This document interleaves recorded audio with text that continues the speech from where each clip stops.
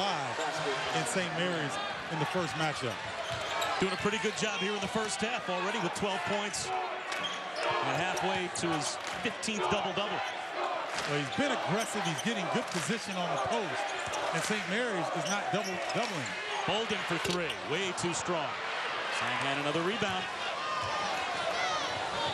Now you see McConnell can handle the ball coming up. Dellavedova can push it. Jorden Page can break you down off the bounce.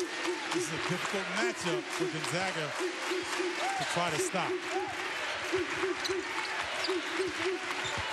Well, Steven Gray getting away with a lot of physical D out there. Dellavedova lost his balance, gets it to McConnell with eight to shoot.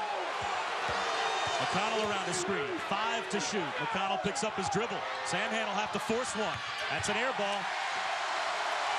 Gray with all those bumps on the perimeter took Dellavedova and St. Mary's totally out of rhythm. Well, that's what deep, great defense does. Try to take away your first option. And Dellavedova wasted a lot of time on the perimeter. Ray in and out. The tip follow won't go, and it finds its way to McConnell. Pretty solid job on the glass. It's even right now. And you mentioned it, Bob, plus 18 for Gonzaga in their first matchup this season. So St. Mary's very impressive here in the first half with cleaning up some of the areas that gave them problems earlier this season. Samhan in the post, deliberate against Sacre. Takes a little bit of a bump and knocks down another jumper. 14 in the first half for Samhan. Ooh, that's nasty off the pinky toe. Omar Samhan. Then you give up the easy one, though, to Bouldin. Fall asleep defensively, and Bouldin makes it a one-point game. See, that's why head coaches are follically challenged. Because if it doesn't fall out on its own, you pull it out. Samhan, a jumper. Must be on the road, does not get the friendly bounce.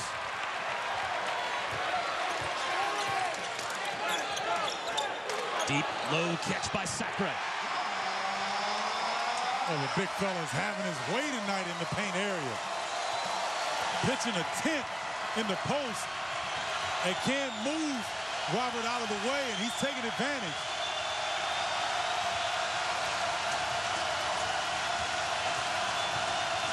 Steven Gray is really getting away with a lot of contact. Dellavedova's going to have to keep his composure here on the road. McConnell no good from three. Gray fouled by Dellavedova. We'll step aside. We've got the two best players in the conference going back and forth tonight. Well, Omar Samhan doing it nice off the back foot on the jumper over the D. And Matt Bouldin, you fall asleep, I'll make you pay. If they can get it here at Gonzaga, and they're getting a great start from Omar Samhan. Well, showing you the versatility of the big man and what he's able to do, how he's really expanded his game. Nice pick at half court to free Matthew Dellavedova. Dellavedova does a great job of dragging the defense. Omar steps into the free throw line area and showing you his improved face-up jumper. Nice execution by St. Mary. Samhan has scored eight of St. Mary's last 10 in a far different first half tonight than the first half he put together against Gonzaga in the loss at home back in Moraga on January 14th. That's why right now, Randy Bennett's team at 8 and 1, a half game technically ahead of Gonzaga in the West Coast Conference standings, but they've lost the only head-to-head -head matchup between the two teams so far this year. So if the Zags win tonight, they would not just be a half game ahead mathematically of St. Mary's in the standings, but it would feel like almost two games ahead because they'd have the season sweep. Yeah, and it was uh, a wild game, this first matchup down in St. Mary's. And that venue at St. Mary's is a lot smaller than the McCarthey Center that we're enjoying this one in. And 89 points scored by Gonzaga on the road. Impressive offensive display.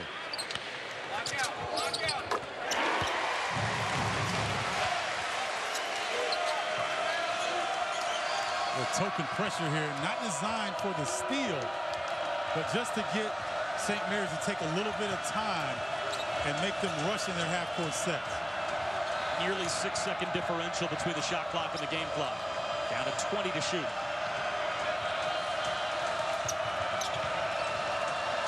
Look for a high screen and roll with Omar Samhan involved. McConnell on the drive lost the ball, five to shoot, gets it to the corner. Allen for three. Got it. Down to five seconds to go in the first half. And a whistle and a timeout called by Mark Few from the bench. We will step aside very briefly. Tied here in Spokane. Great start to tonight's game.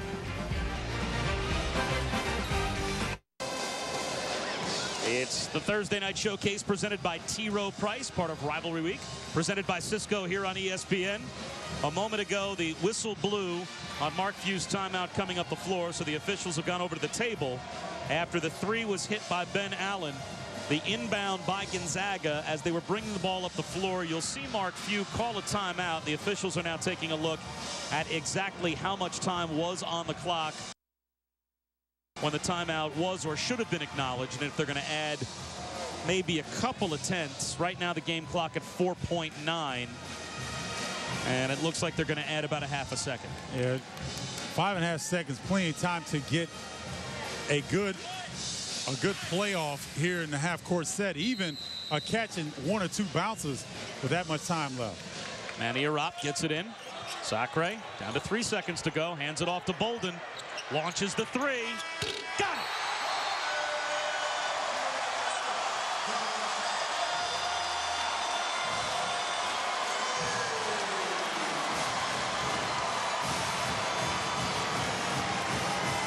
A terrific first half, and Gonzaga with the three-point lead at halftime. And the margin based on this jumper by Bouldin. A nice in and out dribble to create the space. Was a little surprised that Sacre got the ball at first, but nice job of finding Matt Bouldin, and he does the rest. That brings us to halftime in the rivalry game in the West Coast Conference. A three-point lead at halftime for the Zags. After the break, we'll hear from Ryan Burr.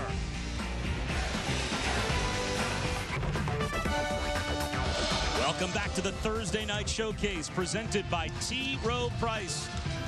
This is ESPN's Rivalry Week presented by Cisco. Number 11 Gonzaga with a three-point lead over St. Mary's at halftime set for the start of the second half. Taking a look at some of the first half numbers, and Gonzaga shoots 55% from the field in the first half.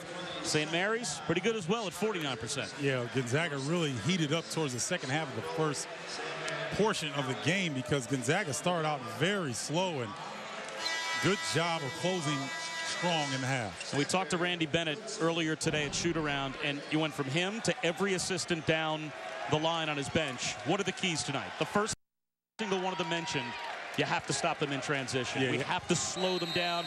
What do you think the job that they did in the first half? Oh, I, I think they did a fantastic job. You know, Gonzaga